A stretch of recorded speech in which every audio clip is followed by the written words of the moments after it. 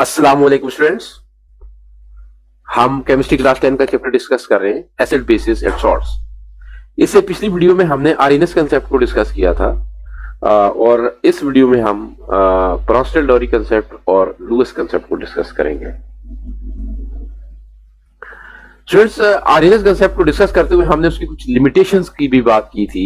हमने ये कहा था कि ये जो कंसेप्ट है, ये तमाम एसिड और बेसिस को एक्सप्लेन नहीं कर सकता।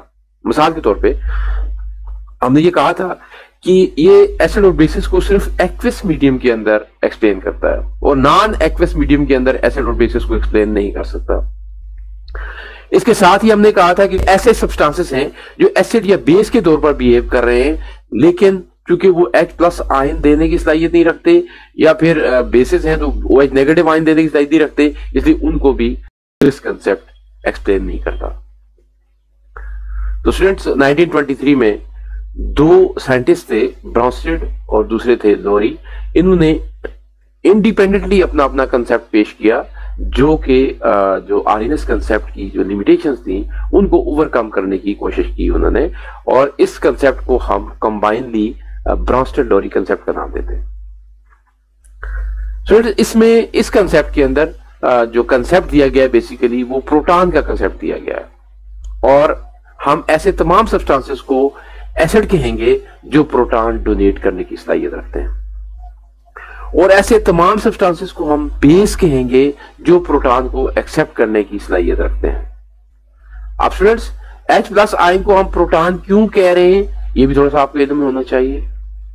हम सारे सारे सारे के सारे जो कैटाइन हैं, उनको तो हम प्रोटॉन नहीं कहते। तो हम H प्लस आयन को कैटाइन H प्लस आयन या हाइड्रोजन का जो कैटाइन है, इसको हम प्रोटॉन क्यों कह रहे हैं? तो स्टूडेंट्स आप जानते हैं कि हाइड्रोजन के पास एक ही प्रोटॉन और एक ही इलेक्ट्रॉन होता है। और अगर ये इलेक्ट्रॉन इलेक्ट्रॉन लूज कर दे तो इसके पास सिर्फ़ प्रोटॉन ही बच जाता है। इसलिए हम हाइड्रोजन का जो कैटाइन है उसको प्रोटॉन कह, कह रहे हैं। इस कंसेप्ट को हम कुछ एग्जांपल्स की मदद से समझने की कोशिश करते हैं। और सबसे पहले हमने एक सब्सटेंस ले लिया एच या हाइड्रोक्लोरिक एसिड और इसको हम अमोनिया के साथ रिएक्ट कर रहे हैं यहाँ पे। अब आप देख रहे हैं कि यहाँ पे अमोनिया के ऊपर एक लोन पेयर ऑफ़ इलेक्ट्रॉन्स है। अब जब हाइड्रोक्लोरिक एसिड अमोनिया के साथ रिएक्ट करता है तो ये अपना प्रोटॉन डोनेट कर देता है। और ये प्रोटॉन जो है, ये अमोनिया के लोन पेयर के ऊपर आकर अटैच हो जाता है। और इस तरह से, चूँकि हाइड्रोक्लोरिक एसिड ने प्रोटॉन डोनेट किया है तो ये एसिड के तौर पे बिहेव कर रहा है जबकि अमोनिया ने इस प्रोटॉन को एक्सेप्ट किया है, इसलिए अमोनिया बेस के तौर पर बिहेव कर रहा तो जब प्रोटॉन एक्सेप्ट कर लेता है अमोनिया तो चूँकि प्रोटॉन इसमें ऐड हुआ है, इसलिए इस स्पीशीज के ऊपर एक पॉजिटिव चार्ज आ जाता है। और दूसरी तरफ़ हम देख रहे हैं कि क्लोरीन ने चूँकि ये शेड पेयर ऑफ़ इलेक्ट्रॉन ले लिया था, इसलिए क्लोरीन के ऊपर आप देख रहे हैं कि नेगेटिव चार्ज आया हाइड्रोक्लोरिक एसिड जो है, वो एक एसिड के तौर पे बिहेव कर रहा है और अमोनिया बेस के तौर पे बिहेव कर रहा है। अब एक दूसरी एग्जांपल देख लेते हैं हम, जहाँ पे हाइड्रोक्लोरिक एसिड जो है, वो वाटर के साथ रिएक्ट कर रहा है और यहाँ पे भी ऐसी सूरत हाल होगी कि हाइड्रोक्लोरिक एसिड अपना प्रोटॉन जो है, वो डोनेट करेगा और वाटर अपने लोन के पेयर के ऊपर किसी भी चूँकि वाटर के पास दो लोन पेयर हैं तो ये किसी भी लोन पेयर के ऊपर इस प्रोटॉन को एक्सेप्ट कर लेगा और इस तरह से आप देख रहे हैं कि वाटर ने इस प्रोटॉन को एक्सेप्ट किया है। क्योंकि यहाँ पे हाइड्रोक्लोरिक एसिड ने प्रोटॉन डोनेट किया है तो ये एसिड है। और वाटर ने यहाँ पर प्रोटॉन को एक्सेप्ट किया है। इस तरह से वाटर यहाँ पे बेस के तौर पे बिहेव कर रहा है। अच्छा यहाँ पे आप ये भी देख रहे हैं कि अमोनिया का जो अमोनिया एक चूँकि बेसिक करेक्टरिस्टिक रखता है आरिनस कंसेप्ट ने इसको एक्सप्लेन नहीं किया था लेकिन ब्रॉस्टरडोरी कंसेप्ट ने इसको यहाँ पे एक्सप्लेन किया है कि ये किस तरह से बेस के तौर पर बिहेव कर रहा है। तो अगेन एक और एग्जांपल देकर हम इस बात की, की को वजात कर लेते हैं कि अमोनिया एक बेस के तौर पर किस तरह से बिहेव कर रहा है। तो स्टूडेंट्स अमोनिया जब वाटर के साथ रिएक्ट करता है पिछले रिएक्शन में आपने देखा था कि वाटर जो है वो बेस के तौर पे बिहेव कर रहा था लेकिन यहाँ पे जब अमोनिया के साथ वाटर रिएक्ट कर रहा है तो वाटर एसिड के तौर पे बिहेव करेगा और ये अपना प्रोटॉन डोनेट कर देगा। ये अपना प्रोटॉन डोनेट करेगा और अमोनिया इस प्रोटॉन को एक्सेप्ट करके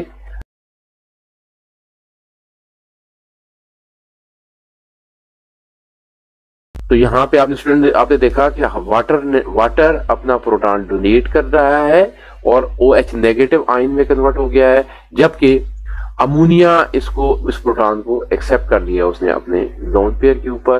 तो स्टूडेंट्स जब कोई एसिड जो है अपना प्रोटॉन डोनेट कर देता है तो डोनेट करने के बाद जो स्पीशीज बन रही है, उसको हम कंजुगेट बेस कहते हैं। इसको हम कंजुगेट बेस कहेंगे। और और जब बेस कोई प्रोटॉन एक्सेप्ट कर लेता है तो एक्सेप्ट करने के बाद जो स्पीशीज बनती है, जो उसको हम कंजुगेट एसिड कहते हैं। अब अब इसकी हम थोड़ा सा वजाहत कर लेते हैं कि कंजुगेट एसिड और कंजुगेट बेस क्या होता है? एसिड और बेस जब आपस में रिएक्ट करते हैं तो एसिड अपना प्रोटॉन डोनेट करता है और कंजुगेट बेस के अंदर कन्वर्ट हो जाता है। ये प्रोटॉन से डोनेट कर दिया और कंजुगेट बेस के अंदर कन्वर्ट हो गया। जबकि बेस इस प्रोटॉन को एक्सेप्ट करेगा और कंजुगेट एसिड में कन्वर्ट हो जाएगा। इस तरह से जब एक एसिड और बेस आपस में रिएक्ट कर रहे होते हैं तो उस उस, उस जगह पे दो पेयर होते हैं एसिड और बेसिस के। एक एसिड होता है और एक, कंजुगेट एसिड होता है और एक बेस होता है और एक कंजुगेट बेस होता है। एग्जाम्पल्स की मदद से हम कंजुगेट एसिड और कंजुगेट बेस को एक्सप्लेन कर रहे हैं जी। आ, तो सबसे पहले तो आप देख लें कि कंजुगेट बेस क्या चीज़ है कि एक ऐसी केमिकल सब्सटेंस है बनता कैसे है कि जब एक एसिड अपना प्रोटॉन डोनेट कर देता है तो एसिड कंजुगेट बेस बन जाता है। और कंजुगेट एसिड क्या होता है? कंजुगेट एसिड एक ऐसा केमिकल सब्सटेंस है या एक ऐसी केमिकल स्पीशीज है जो उस वक्त बनती है जब एक बेस प्रोटॉन को एक्सेप्ट करता है। हम इसको इस तरह से भी बयान कर सकते हैं an acid is converted into conjugate base by donating proton and a base is converted into conjugate acid by accepting proton examples की मदद से हम समझेंगे यहाँ पे कि कौन सा कंजुगेट एसिड है और कौन सा कंजुगेट बेस है। एच और अमोनिया आपस में रिएक्ट कर रहे हैं तो एच तो एसिड है और अमोनिया यहाँ पे बेस है। आ, लेकिन जब एच ने प्रोटॉन डोनेट कर दिया तो ये कंजुगेट बेस के अंदर कन्वर्ट हो गया है।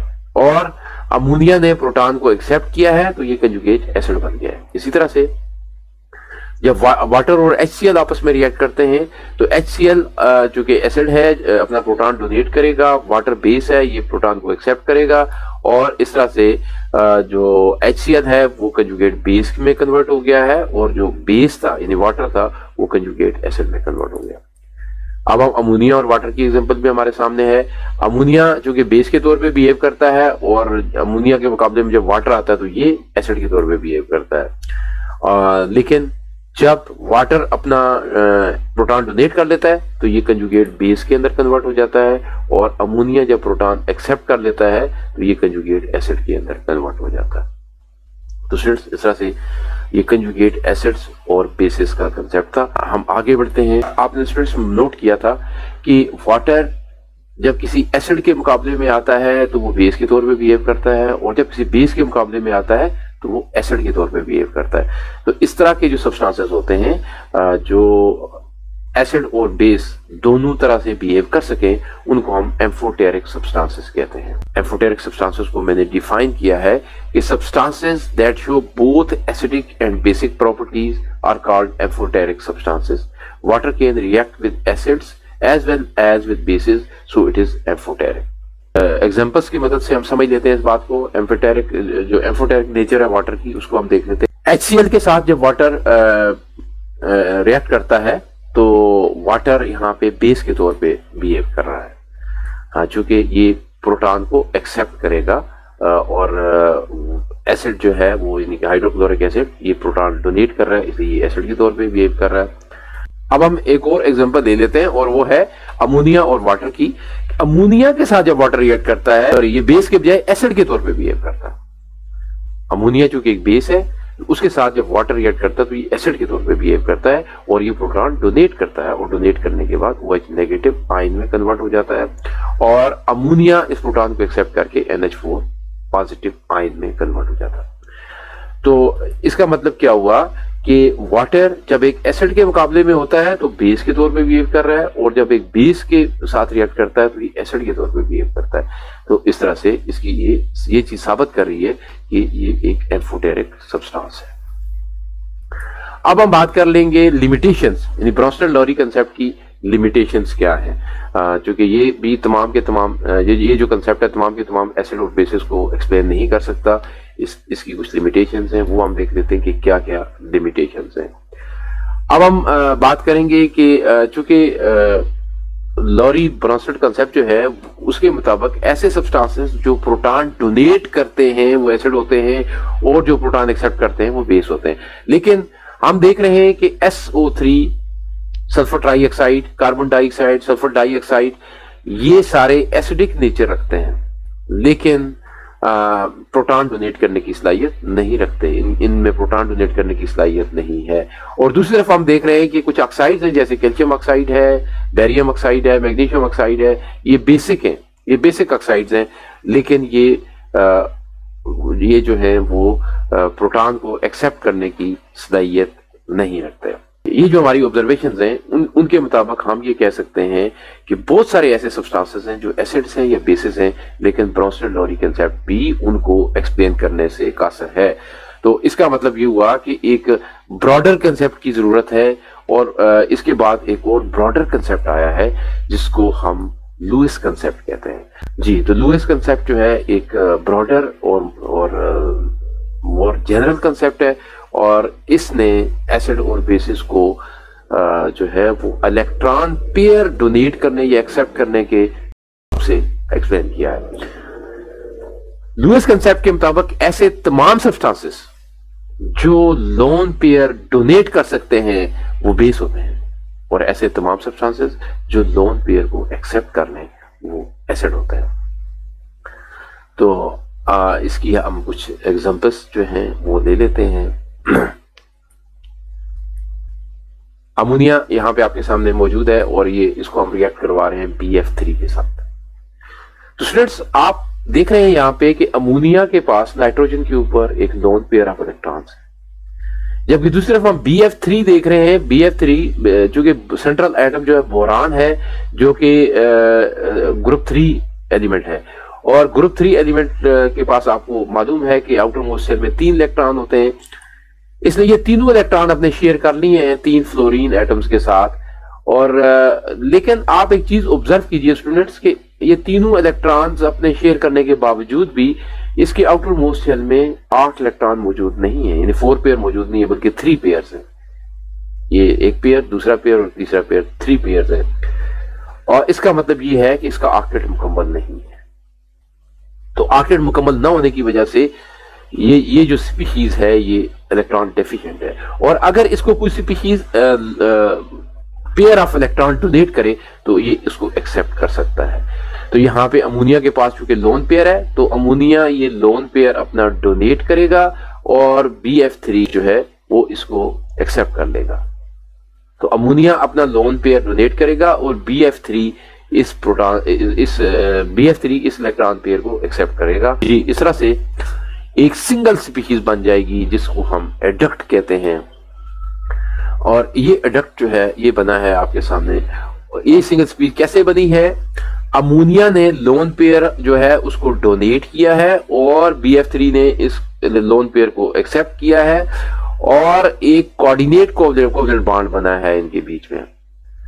अब कोऑर्डिनेट कोवलेंट बाड ऐसे बाड को कहा जाता है जो शेयरिंग ऑफ़ इलेक्ट्रॉन से म्यूचुअल शेयरिंग से नहीं बन रहा होता, बल्कि एक स्पीशीज वो पूरा पेयर जो है, उसको डोनेट करती है, और दूसरी स्पीशीज उस पेयर को एक्सेप्ट करती है।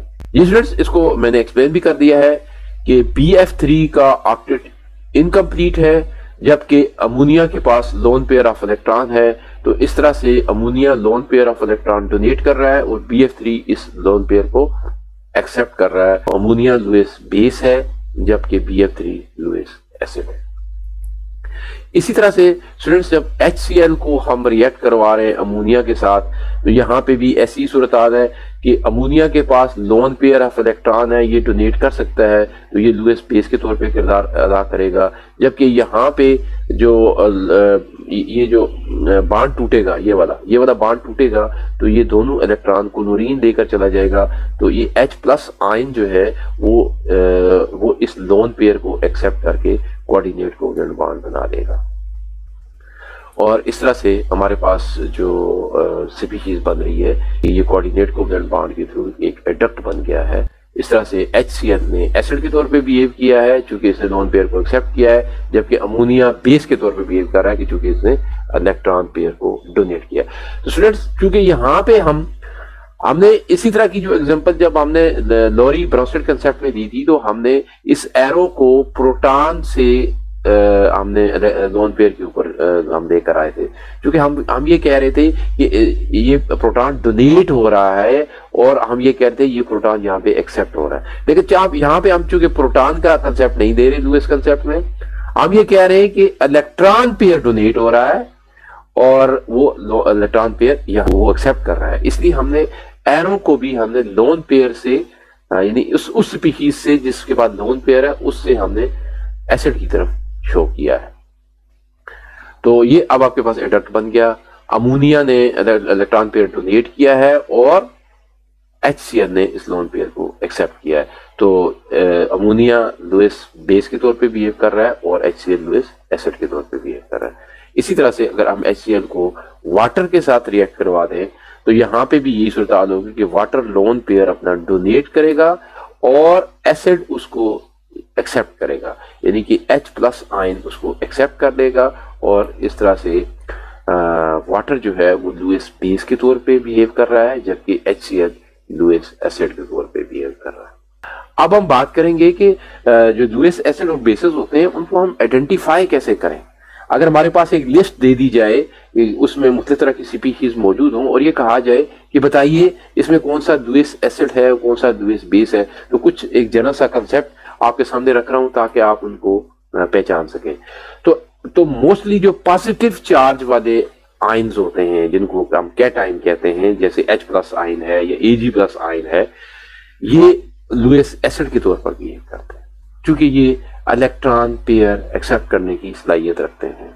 इसी तरह से ऐसे तमाम मालिक्यूल जिनका ऑक्टेट इनकम्प्लीट होता है, जैसे हमने बात की बी एफ़ थ्री की बात की थी, इसी तरह से हम A L C L three की बात भी कर सकते हैं, एल्यूमिनियम क्लोराइड की। तो ये एल्यूमिनियम भी और बोरान भी, ये दोनों ग्रुप थ्री एलिमेंट है और ग्रुप थ्री एलिमेंट्स के पास सिर्फ़ तीन इलेक्ट्रॉन होते हैं आउटरमोस्ट शेल में। और जब ये तीनों इलेक्ट्रॉन भी अपने शेयर कर लेते हैं, फिर भी इनका ऑक्टेट मुकम्मल नहीं होता। तो इसलिए इसलिए हम कह रहे हैं कि ये इन, ये जो सेंट्रल एटम है, वो उसका ऑक्टेट इनकम्प्लीट है। तो ये इलेक्ट्रॉन को एक्सेप्ट करने की सलाहियत रखते हैं। इसका मतलब ये नहीं पेयर ये पेयर ऑफ़ इलेक्ट्रॉन एक्सेप्ट करने की सलाहियत रखते हैं। इसलिए हम कह सकते हैं कि इस तरह के जो मालिक्यूल्स हैं, वो भी एसिड के तौर पर बिहेव करते हैं। और इसके लिए मैंने ये बी एफ़ थ्री आपके सामने इसका स्ट्रक्चर फार्मूला दिया है। तो बी एफ़ थ्री में क्या हो रहा है कि जी बोरान के पास तीन ही इलेक्ट्रॉन्स थे उसने तीनों फ्लोरीन के साथ शेयर किए। और उसके बावजूद भी इसके आउटर मोस्ट शेल में सिर्फ़ छह इलेक्ट्रॉन है तीन पेयर में एक पेयर इसमें कम है अभी ऑक्टेट मुकम्मल करने में। तो इसलिए ये अब आ, इसको अगर कोई स्पीशीज इलेक्ट्रॉन पेयर देगी तो उसको एक्सेप्ट कर लेगा और ये एसिड के पर बिहेव करेगा। अब हम बात कर लेते हैं कि लुइस बेस कौन से होते हैं कि मोस्टली जो नेगेटिव चार्ज वाले आयंस होते हैं या एन आइन हम जिन्हें क्या कहेंगे जिस से आप ये कुछ एनाइंस यहाँ पे देख रहे हैं तो ये इलेक्ट्रॉन्स डोनेट करने की सलाहियत रखते हैं। क्योंकि इनके पास ऑलरेडी एक्स्ट्रा इलेक्ट्रॉन मौजूद है तो ये एक्स्ट्रा इलेक्ट्रॉन मौजूद होने की वजह से ये इलेक्ट्रॉन्स डोनेट करने की सलाहियत रखते हैं। इसलिए ये लुइस बेस के तौर पर काम करते हैं।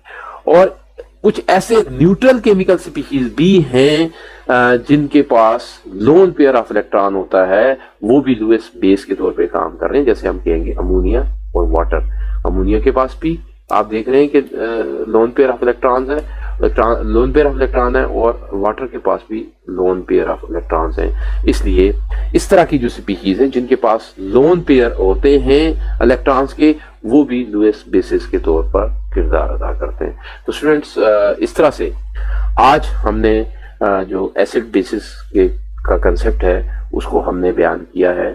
और नेक्स्ट वीडियो में हम सॉल्ट्स के ऊपर बात करेंगे। आज की वीडियो को हम ये भी खत्म कर रहे हैं। नेक्स्ट वीडियो तक इजाज़त दीजिए। अल्लाह हाफिज।